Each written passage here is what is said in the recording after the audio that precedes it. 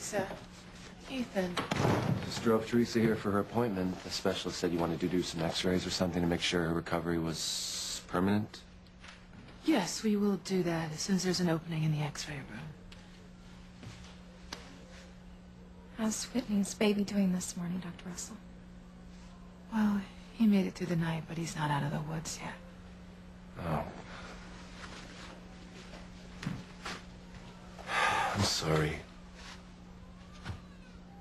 He looks like a fighter, though, you know? That he is. Spoken like a true grandmother. He'll be fine. He'll pull through. Um, Ethan, can you do me a big favor? Can you just uh, check to see if my name's on the x-ray schedule? Sure. Yeah, no problem. Thanks.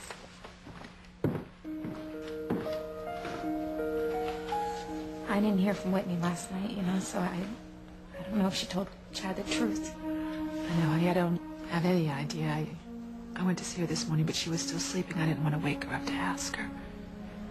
Yeah. You know, as uh, much as I want her to tell the truth, I'm, I'm worried for her, you know. I mean, what if Chad finding out that he's the baby's father sent him right over the edge? I, I'd like to go check on Whitney. Yeah, I'll come with you. Hey, Hi. Uh, do you think that we have time to check on Whitney before the x-ray room's available? yeah, yeah, I think there's time. The nurse said it would take a while, and uh, she'll come and get you when it's time. Okay. Would you mind if Dr. Ross and I visit her alone? No, no, not at all. It's fine. I have a bunch of calls to return anyway.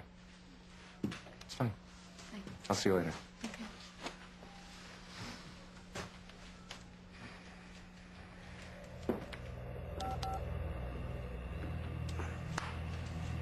Still no word from Fox.